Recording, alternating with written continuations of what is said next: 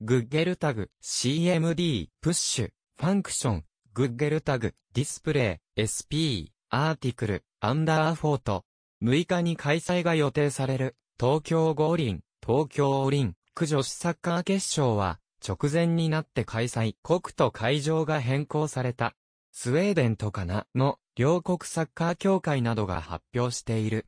今、ズンの J リーグは DAZN で、いつでもどこでも簡単、超。1ヶ月無料お試し実施中、五輪女子サッカー、スウェーデン女子代表とカナダ女子代表が勝ちへ進出。お互いに、初の金メダル獲得に向け、6日の日本時間11時から、東京、国立競技場でケツを戦うことが予定されていた。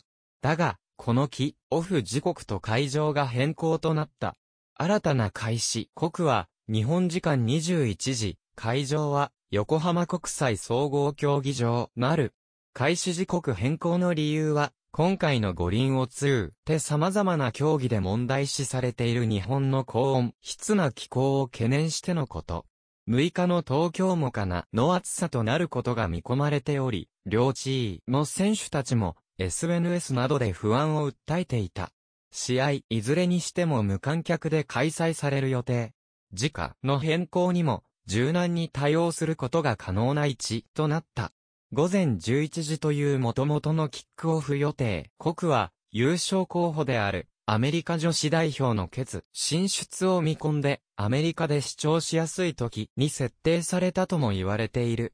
だがアメリは準決勝でカナダに敗れ、5日の3位決定戦ではストラリアを下して銅メダルを獲得した。